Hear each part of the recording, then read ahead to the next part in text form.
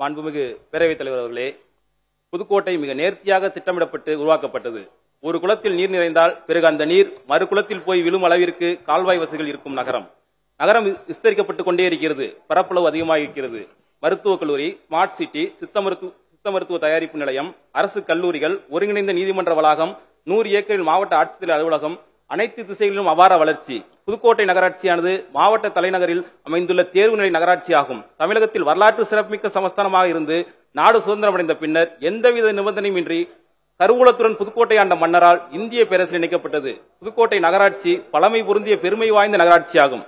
மேற்படி நகராட்சியை ஒட்டியுள்ள நயனிய நத்தம்பண்ணை நயன்பி நத்தம்பண்ணை முள்ளூர் கவிநாடு கிழக்கு கவிநாடு மேற்கு திருமலராய சமுத்திரம் திருக்கட்டளை தேக்கோ- தேக்காட்டூர் ஊராட்சிகளை புதுக்கோட்டை நகராட்சியுடன் இணைத்தால் அரசிடமிருந்து கூடுதலாக நகர்ப்புற வளர்ச்சிக்கு தேவையான கூடுதல் நிதியினை பெற்று அப்பகுதியில் வாழும் பொதுமக்களுக்கு அடை- அடிப்படை வசதிகளை தரமான முறையில் தேவையான அளவு ஏற்படுத்தி தர ஏதுவாக இருக்கும்.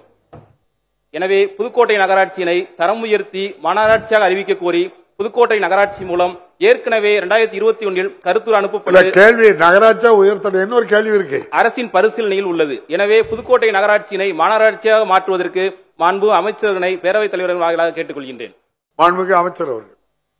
மாண்புமிகு பேரவைத் தலைவர் அவர்களே நம்முடைய மாண்புமிகு முதல்வர் அவர்கள் முதல்வராக பொறுப்பேற்றுக் கொண்ட பிறகு கிட்டத்தட்ட முப்பத்தி எட்டு நகராட்சிகள் தரம் உயர்த்தப்பட்டிருக்கிறது. இருபத்தெட்டு நகராட்சிகள் தரம் உயர்த்தப்பட்டிருக்கிறது. ஆறு மாநகராட்சிகள் மாநகராட்சிகளாக ஆக்கப்பட்டிருக்கின்றன. ஒவ்வொரு மாநகராட்சி ஆகுகின்ற போது ஒவ்வொரு ஜனத்தொகையும் மூணு லட்சத்திற்கு அதிகமாக இருந்தால் அது மாநகராட்சியாக ஆக்கலாம் என்று ஒரு அரசினுடைய கொள்கை முடிவு இருக்கிறது.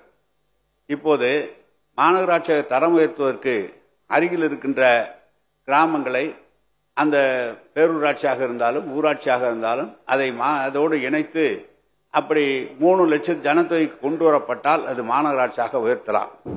புதுக்கோட்டையை பொறுத்தளவு இப்போது ஒரு லட்சத்தி அறுபத்தெட்டாயிரத்தி தொள்ளாயிரம் பேர் இருக்கிறார்கள். அதில் கணக்கெடுப்பின்படி அருகில் இருக்கிற கிராமங்கள் இப்போ இவர் சொன்னது போல மூன்று லட்சம் குறைவாக இருக்கிற காரணத்தால் புதுக்கோட்டை நகராட்சியுடன் திருக்கட்டளை தேக்காட்டூர் சுவிநாடு மேலவட்டம் சுவிநாடு கீழவட்டம் முள்ளூர் ஒன்பது ஏ நத்தம்பண்ணை ஒன்பது பி நத்தம்பண்ணை திருமலராயர் சமுத்திரம் ஆகிய புதுக்கோட்டை நகராட்சியை சுற்றியுள்ள ஊராட்சிகளை இதோடு இணைத்தால் அதை மாநகராட்சியாக தரம் உயர்த்துவதற்கு சரியாக இருக்கும்.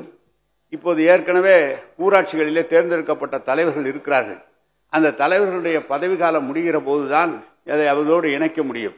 அப்படி இணைக்கும் பட்சத்தில் புதுக்கோட்டை மாநகராட்சியாக தரம் உயர்த்துவதற்கு மாண்பு முதல்வர் அவர்களோடு கலந்து பேசி அப்படி இருக்குமானால் வாய்ப்பு இருக்குமானால் வருகின்ற போது இந்த உள்ளாட்சி தேர்தல் மறுபடியும் நடக்கிற காலத்தில் அதை தரம் உயர்த்துவதற்கு அரசு முடிவெடுக்கும் என்பதை தெரிவித்துக் கொள்கிறேன்.